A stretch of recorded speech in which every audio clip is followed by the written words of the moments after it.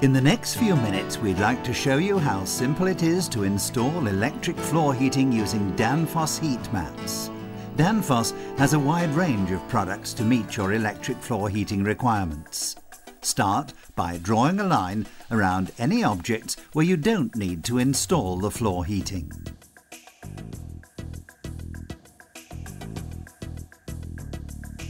Make a drawing of the room and calculate the area where you need Danfoss heat mats. Remember to deduct the areas under cupboards standing on the floor and under the toilet. Choose a mat that's slightly smaller than the area you've measured. Danfoss heat mats are available in various sizes ranging from 1 square metre to 12 square metres. Before starting the job, read the enclosed installation guide carefully. Make a groove in the wall leading from the floor to the junction box for the two plastic conduits for the cold tail and the floor sensor. Make a groove in the floor for the sensor. Tape up the end of the conduit for the floor sensor with strong tape.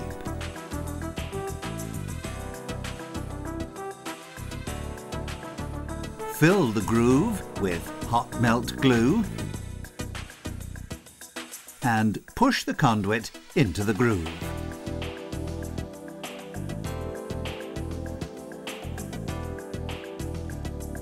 Clear away all sharp objects and with a moist cloth wipe over the floor. Prime the floor with a primer approved by the electric floor heating manufacturer. Use the drawing you made to calculate where to start laying out the mat.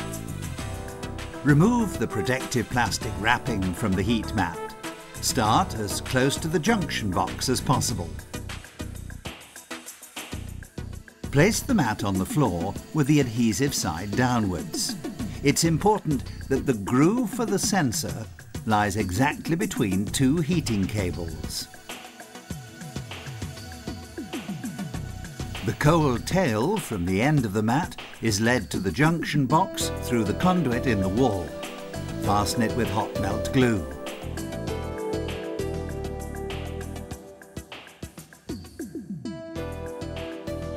To get around obstacles such as drains or toilets, loosen the cable from the mat and glue it to the floor with hot melt glue. Just make sure that the cable isn't damaged by screws or other objects which are drilled into the floor later on.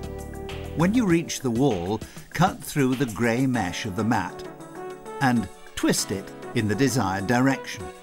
Do not cut the red cable.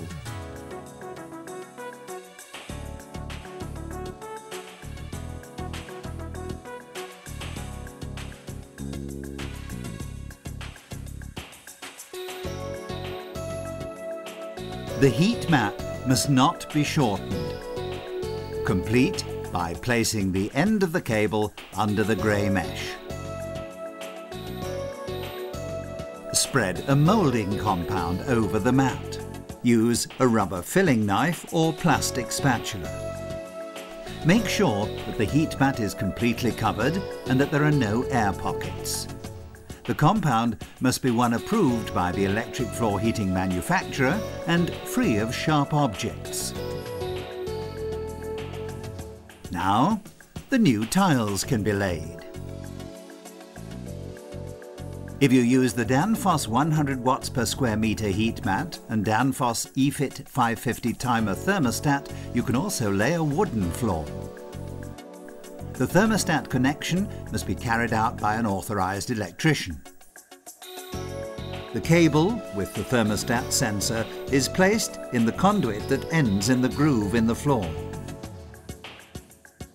To control the floor heating, you must install a thermostat. We recommend a Danfoss thermostat with floor sensor which interacts 100% with the Danfoss heat mat.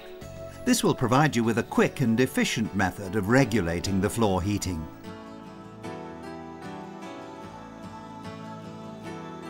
You now have an elegant new tiled floor, which will give you a pleasant, comfortable floor temperature and, we hope, will bring a little luxury into your everyday life.